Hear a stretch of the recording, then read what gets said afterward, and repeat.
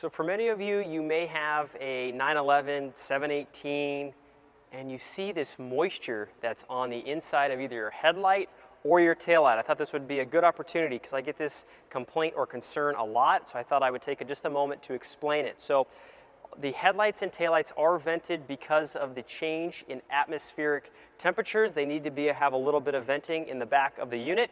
So you'll notice beautiful GT4 RS right here. You're going to notice a little bit of condensation, but you can see how small these little guys are.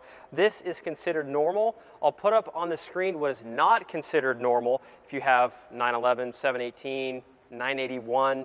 Those, um, that would not be considered normal if you're getting these really big water droplets.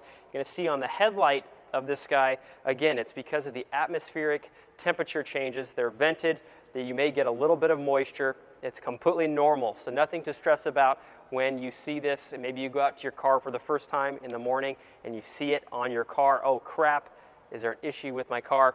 There's not. Rest assured, everything is okay. So I appreciate you guys watching this quick little short video on the 718 beautiful uh, GT4 RS with the uh, moisture in the headlight and tail light. If you guys have any questions, again, leave them down in the comments below. I appreciate you guys watching this video. We'll see you in the next one. Thanks for watching.